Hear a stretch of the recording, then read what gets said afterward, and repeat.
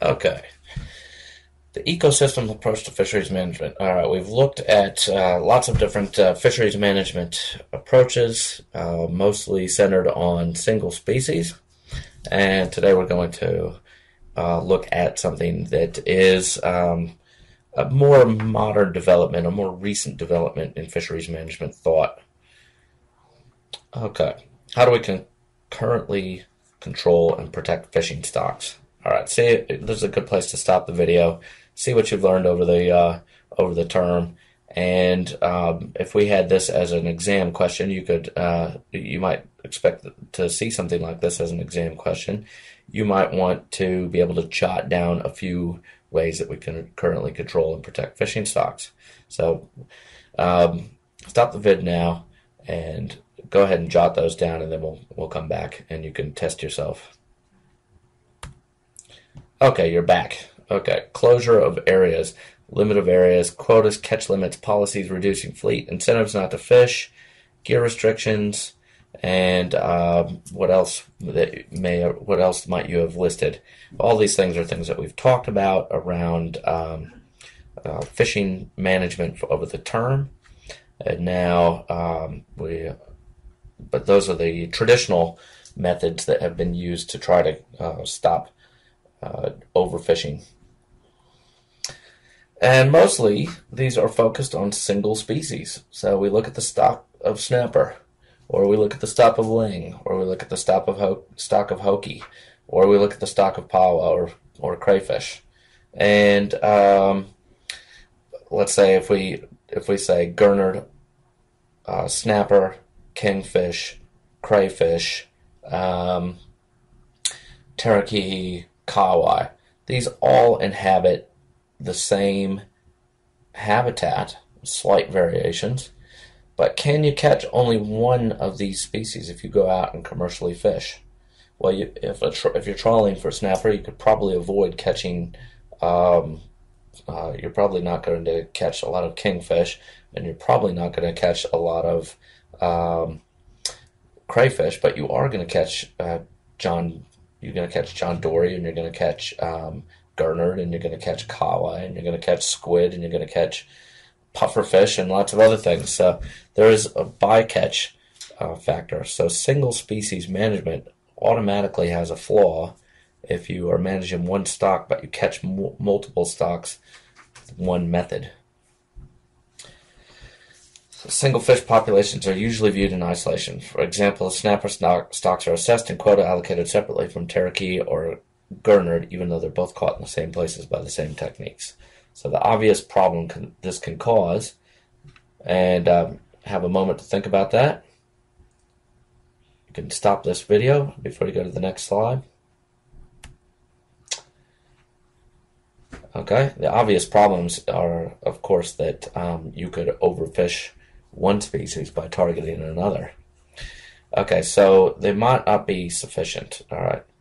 And obviously, if we look at the way the world is going in terms of fisheries, then we can see that there are going to be some areas or that uh, where single species uh, management has just not worked.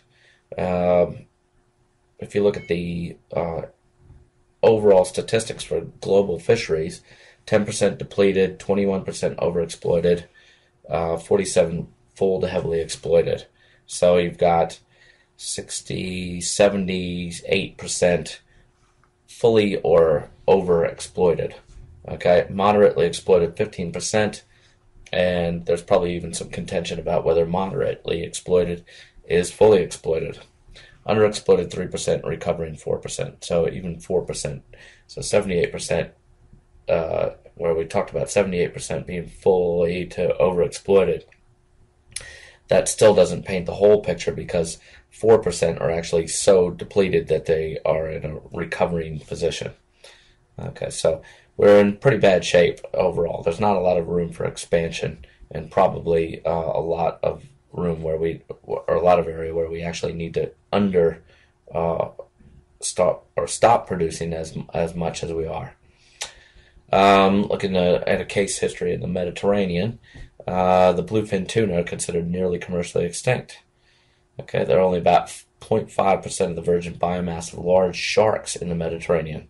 So that means for for every 200 large sharks there were in 1950, and this is a, a statistic from a few years ago, from 2008. This so which means that it's probably worse.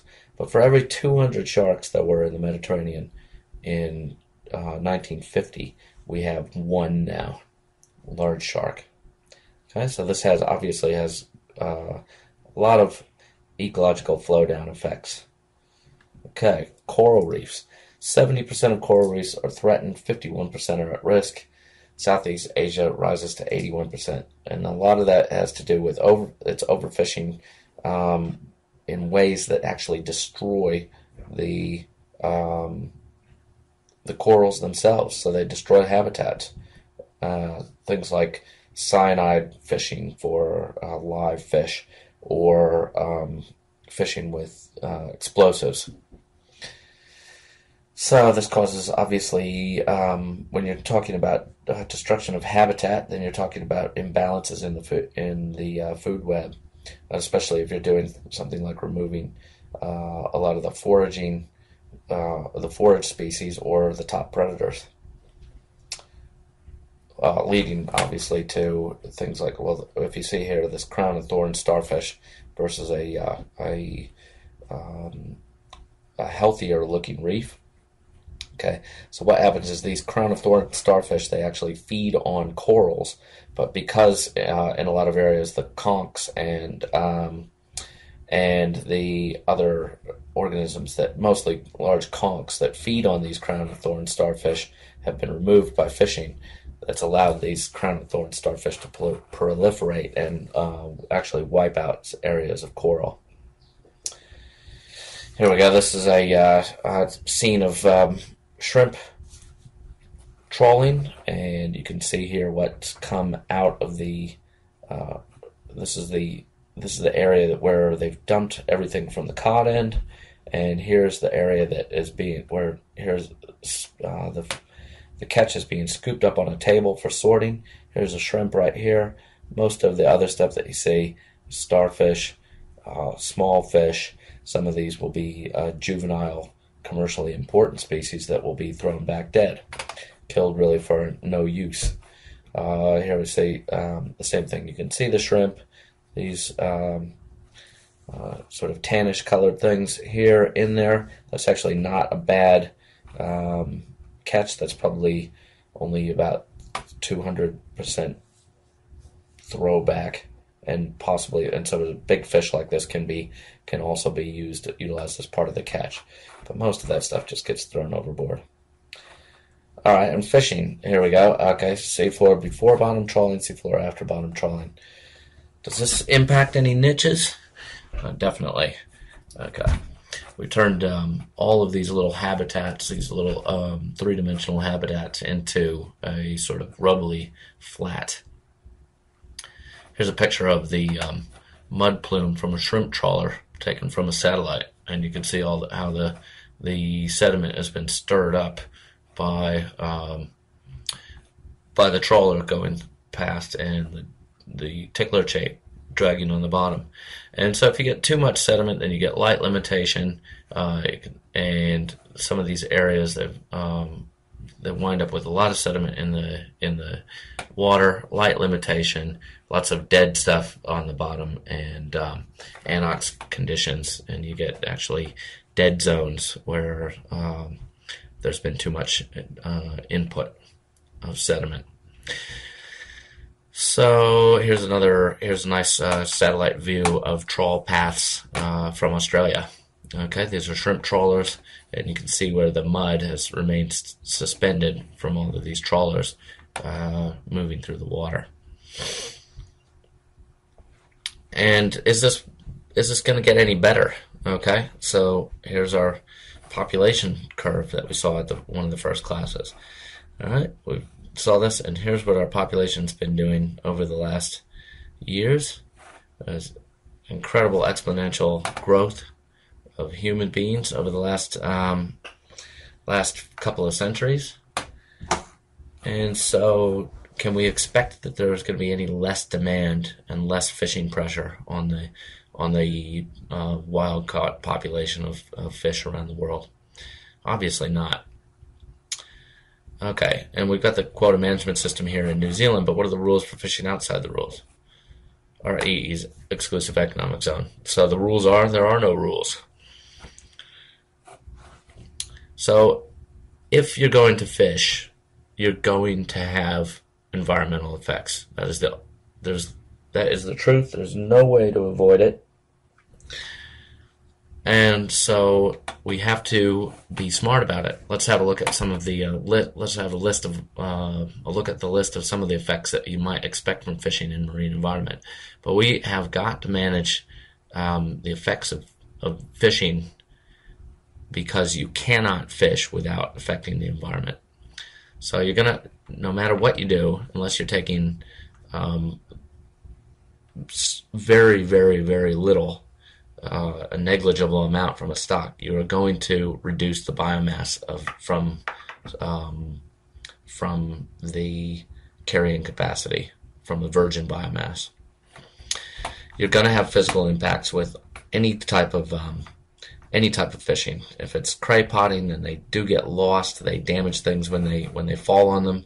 They uh, get lost and they can ghost fish. Obviously, trawling has uh, uh, creates a physical impact. Long lining creates a physical impact when things get caught on rocks, and then you have the rubbish with, long, with lost long lines and the like. Um, so there is a physical impact from pretty much every fishery. Uh, mortality of bycatch and non-target species. Okay, bycatch we've talked about quite a bit. Changes in age and, age and size composition. Now this is important. Okay, we know a little bit about um, about genetics. We know a little bit about um, uh, well, you don't really need to know about genetics, but we do know a little bit about inheritance and um, evolution. And so, if you have a, a population of large fish and you target or you have a, par- a population of, of uh, let's say a virgin population. So you've got some large fish and some small fish. You've got the whole uh, range of ages and size in that population. Let's say that there's a market for big ones, or people uh, recreationally are targeting targeting big ones. You will, or you've put in a size limit, and you can keep everything above a certain size. Well, if you take all of those larger fish and the fish that are that grow slower because of a genetic difference and perhaps breed maybe twice before they're um, before they're of catchable size rather than once, those ones will produce more offspring, leading to a slower growing population, which in fact lowers your production rate of uh, of of that fish.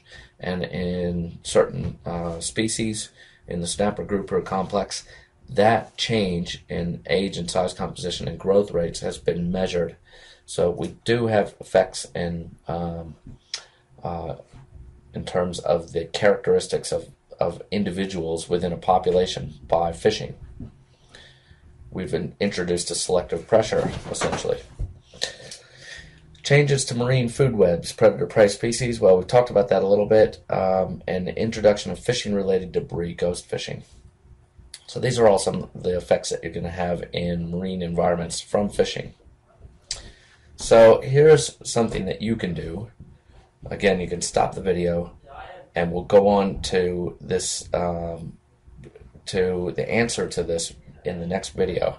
But have a look at this problem. Let me try to explain this well so that you know exactly what you're what you're up against. How would you solve the problems of bycatch and habitat destruction and integrate the protection of all species while still allowing for fishing to continue? Okay, so fishing obviously is an important part of our our economy and it produces a lot of food and we don't necessarily want to um, just stop producing um, that food and because a, a, lot of people count on it. There's an interesting uh, report out by Hilborn and Worm um, that I think was 2010 or 11 that said that um, in fact it's um, if you look at the amount of um,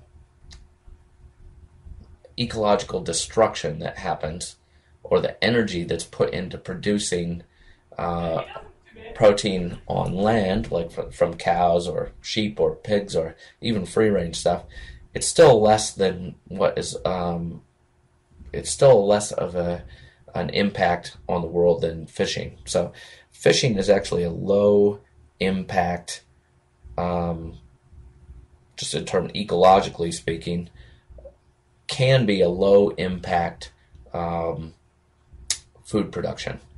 So we want to keep allowing for fishing to happen, but we also want to allow for habitat destruction to be um, stopped. Okay, and we want to solve the problem of bycatch, so we want to be able to protect species or populations that are caught as bycatch, and um, we want to um, be, be able to integrate all three of these. And so, how would you, as a fisheries manager, now that you've gone through most of this course, solve this problem? Okay, think about it, and we'll talk about this in the next video.